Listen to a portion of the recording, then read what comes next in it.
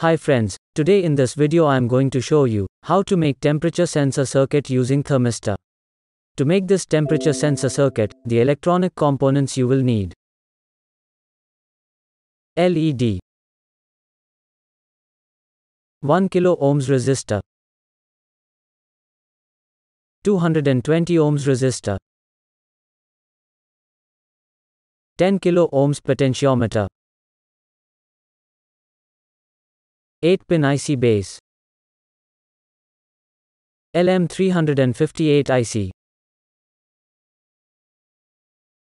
thermistor.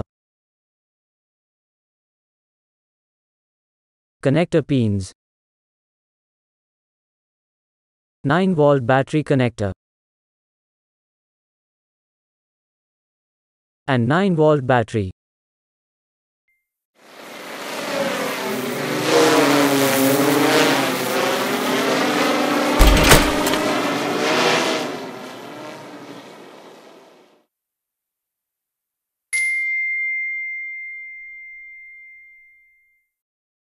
The next thing, you will need a small piece of PCB. I have ordered these PCBs on jlcpcb.com. If you are also interested, I will show you the complete ordering process at the end of this video. Now let's make the circuit. First get a small piece of 0 PCB and insert all the required electronic components into it, according to the circuit diagram shown on the screen. And then solder all of them using solder iron and solder wire.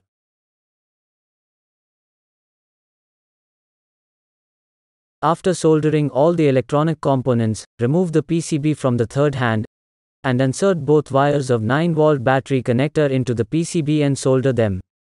Connect thermistor with the circuit and insert LM358 IC into the IC base. Now let's test it by connecting a 9 volt battery. You can see, when I bring a hot solder iron near the thermistor, the temperature of thermistor increases. And when the temperature of thermistor increases, the circuit turn on the LED. And when the temperature of thermistor decreases, the circuit turn off the LED.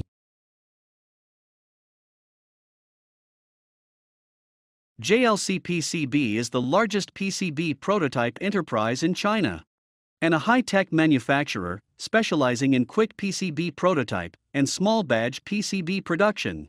Ordering PCB with JLC PCB is very easy and so simple. You should just create your Gerber file and upload to JLC PCB. Here you can order your high quality PCB at a very cheap price. After that, you should just select your desired PCB color from different colors and select the quantity of the PCB. Here you can order 2 layers for layers and 6 layers of PCB at a very cheap price, just in $2.